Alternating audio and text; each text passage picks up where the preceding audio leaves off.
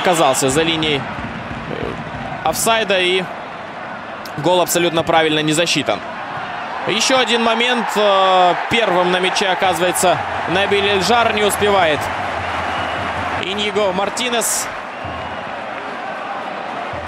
Не видел он, безусловно, марокканца, но правило из правила. Пенальти Хосе Баркера пешочком, красиво, уверенно подходит к мячу. Отправляет его вправо от э, Клаудио. Правый угол. Чилиц мог этот мяч достать, но уж очень хорош был удар Баркера. 1-1.